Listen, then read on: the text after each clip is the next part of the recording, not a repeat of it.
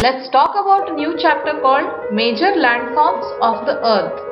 So, Earth is a planet, right? It has many continents, many countries, and many states. But the Earth undergoes changes due to action of various forces, and these forces can be of two types that is, internal forces and external forces. Let's talk about internal forces first. Internal forces are acting within the earth, that means inside of the earth. These forces are acting from inside of the earth, within the earth, and these forces lead to changes in the surface of the earth. So, internal forces act from within the surface of the earth which leads to sudden changes in the earth. So, the inner crust of the earth, crust of the earth is inside parts of the earth. So those crust of the earth is divided into several pieces known as plates. So the inner parts of the earth, the crust of the earth is divided into many parts called plates. So this crust of the earth which is divided into plates, it floats over the liquid molten rock. Rock particles everybody know right? They are like stones. But if this rock is present in a dissolved form, liquid molten form, then these plates float over the liquid molten rock which lies below the crust. Core of the earth heats the molten magma. When I talk about magma, what does magma mean?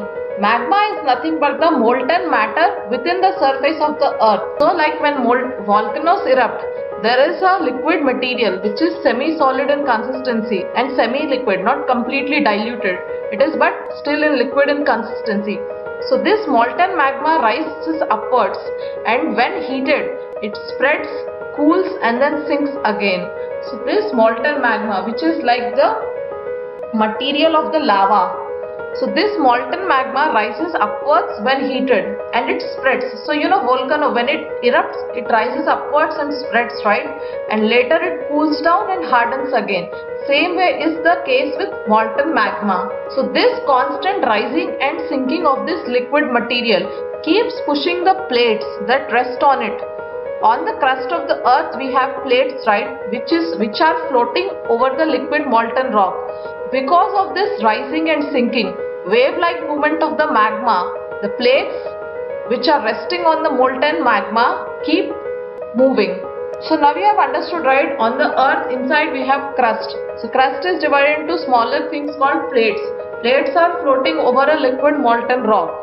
So inside the molten rock there is core of the earth which is the innermost part of the earth. This innermost part of the earth gets heated, spreads up so when this molten magma is spreading, obviously the plates which are resting on it also spreads.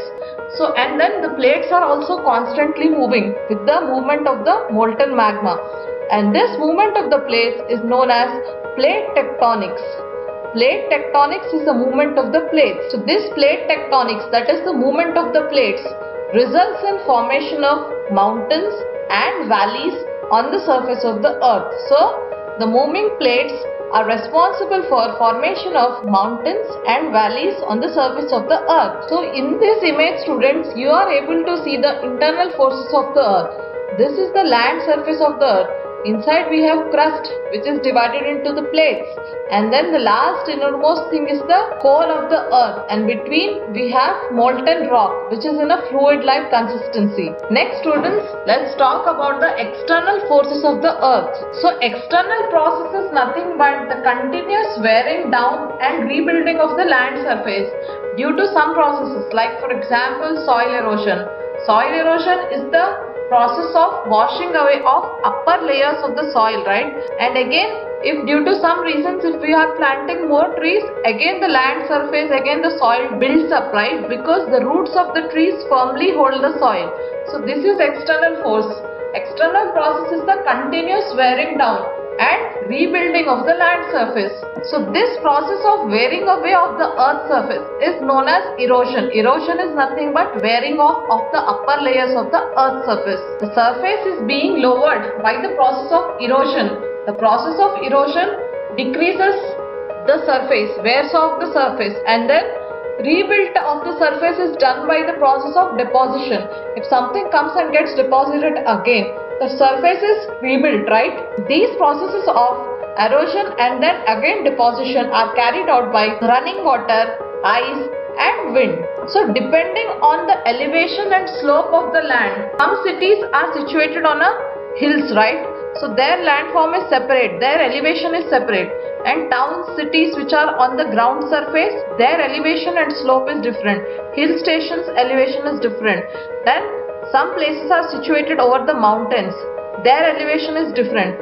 So depending or basing on the elevation and slope, the landforms are classified as mountains, plateaus and plains. So in this image students, you are seeing the external force that is erosion of the land surface and again deposition of the land surface. So lowering of the surface is erosion, again rebuilding is deposition. Next, let's study of different types of landforms. So, on the basis of the elevation and slope, how they are located. There are three types of landforms. They are known as mountains, plateaus, and plains. So, in this image, students, you can see at a great height are located the mountains. Then plains are located at the ground level, right? And plateaus are also located at a little bit height over the surface of the earth. Let's talk about mountains. Mountain is nothing but any natural elevation of the earth's surface. So if there is any elevation or anything above the earth's surface, it is known as the mountain. So mountains have a small summit and a broad base. That is always the base of the mountain is broad and the top part is always narrow. Whereas mountains are always at a greater height than the surrounding areas. So how much height, how much higher than the surrounding areas?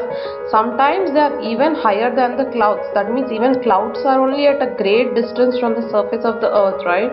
So these mountains are sometimes higher than even the clouds. And as we go up the mountains, the climate becomes colder. So always so always as the altitude increases temperature decreases. So as we go high the climate becomes colder. Some mountains almost water is in a frozen state and always it will be in a frozen state because of colder climates over there lower temperatures. So they are permanently frozen rivers of the ice.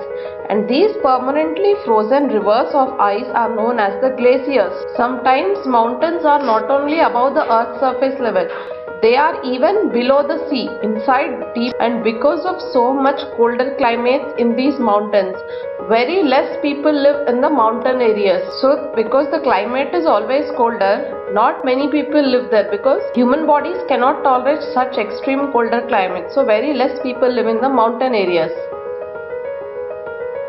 So in this image you are able to see Himalayan mountain range. It is at a height above the earth's surface it is covered with ice rivers. This is known as the glaciers. There are three types of mountains.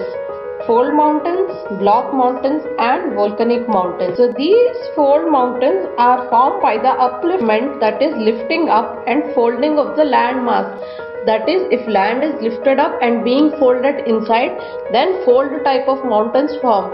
This happens due to lateral compression by the internal forces. Inside the earth forces will be there right? So these forces lead compression land and form the fold mountains. So imagine if we have two plates two plastic plates. If they move towards each other and fold so the place where these and get fold is known as the fold fold method. So the point where these two folds meet that point either gets folded or crumpled and then forms as a mountain. So the earth's layers are known as the earth's crust right? So these layers of earth's crust come up get lifted and fold into each other due to the internal forces and then they result in the formation of fold mountains. And examples of such mountains are himalayas and alps